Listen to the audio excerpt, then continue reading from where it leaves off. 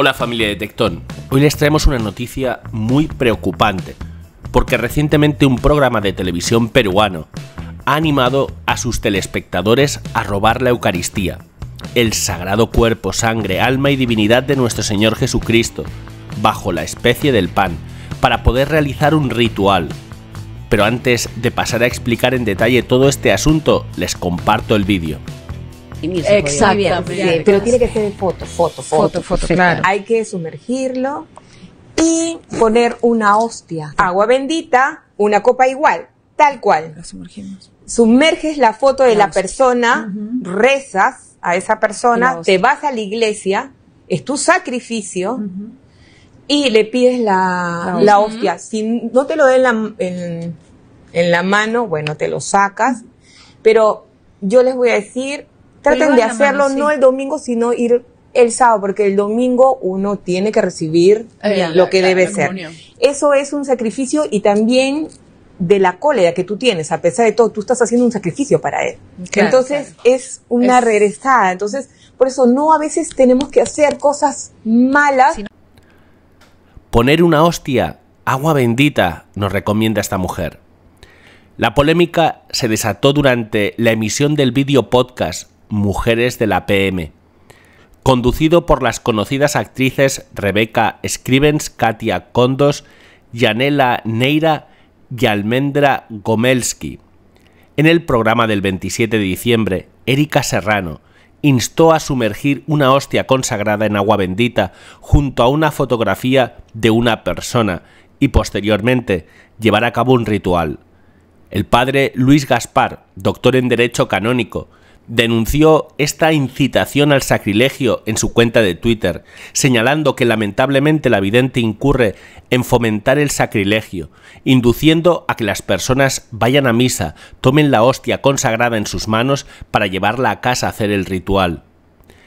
El Código de Derecho Canónico, que rige las leyes de la Iglesia, establece claramente en el canon 1382 que aquellos que profanan las especies consagradas o las retienen con propósitos sacrílegos incurren en una excomunión automática reservada a la sede apostólica.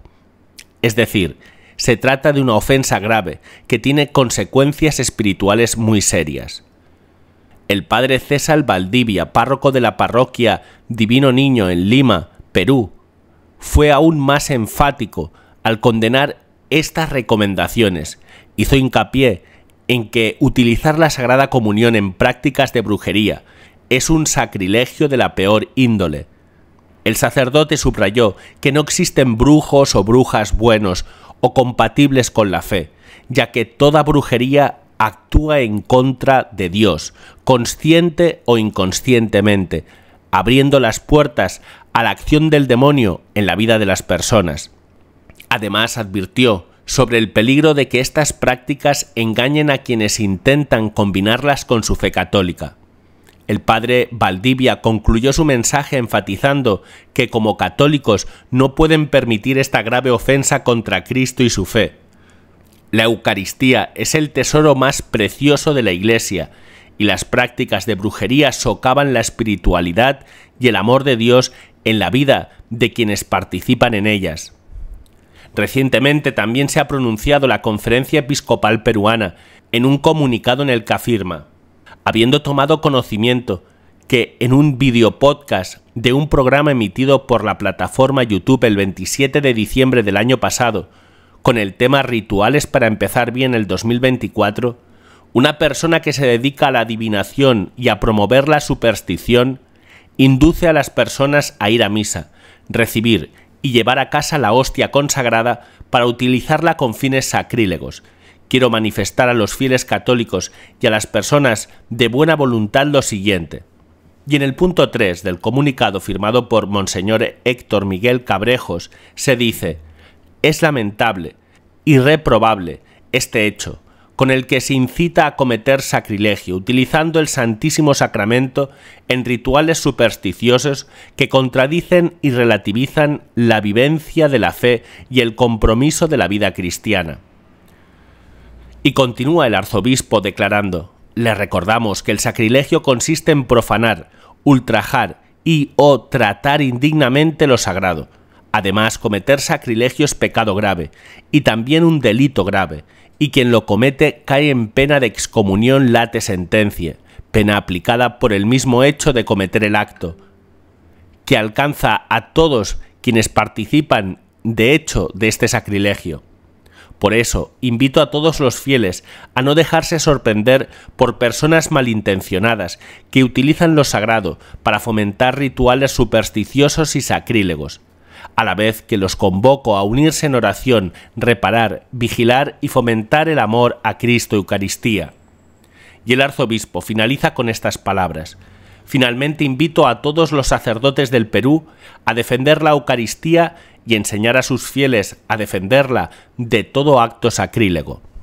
Sobre este tema, de robar la Sagrada Eucaristía, deben saber que existe un mercado negro para ello. El exorcista padre Aldo Buonayuto dice que el precio de cada hostia puede ir desde 80 a los 500 o 1000 euros en Europa. El precio depende del tamaño de la hostia, de la importancia de la iglesia de la que proviene y del sacerdote que la haya consagrado. Conseguir una hostia consagrada por el Papa no tiene precio. Y si procede de la Basílica de San Pedro, aunque haya sido consagrada por cualquier cardenal, tiene el mayor precio. Y también valen más cuanto más conocida sea la Iglesia, más famoso sea el sacerdote que la consagra o más fama de santidad tenga. Las hostias robadas se profanan de diversas formas. Una forma es a través de misas negras, que son liturgias satánicas, que copian la liturgia católica pero la invierten. El rito imita, más o menos, el de la misa católica, con las oraciones recitadas en latín y otras lenguas.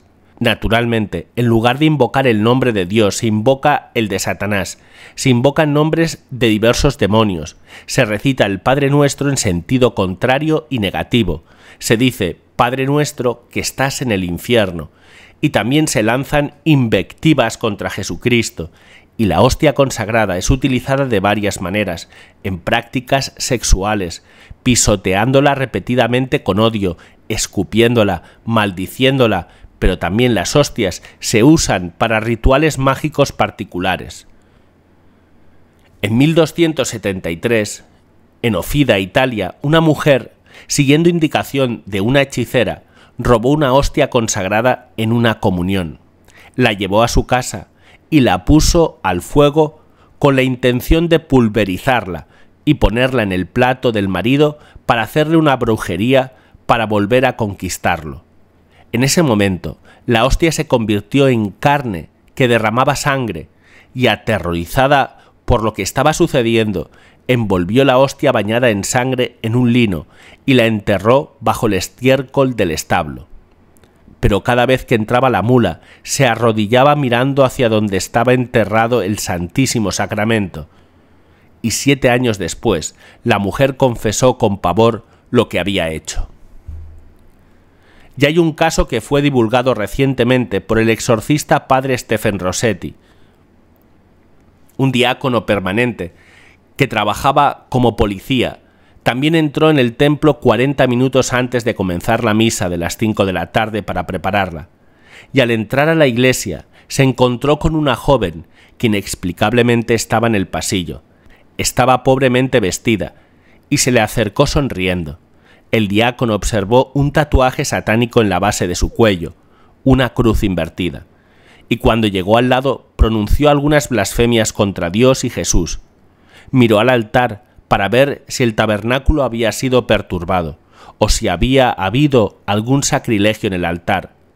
Pero no había ocurrido nada grave.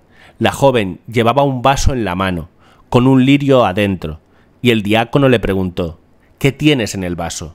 Ella sostenía un vasito infantil lleno de líquido transparente y un lirio blanco que provenía del arreglo del altar.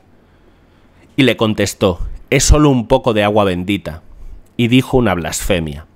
¿Para qué quieres eso? preguntó el diácono, y le contestó Lo necesito para los exorcismos. Soy una bruja, adoro a Satanás. El diácono metió la mano en la pila de agua bendita y se bendijo, y ella lo insultó y le dijo que no la mojara con agua bendita.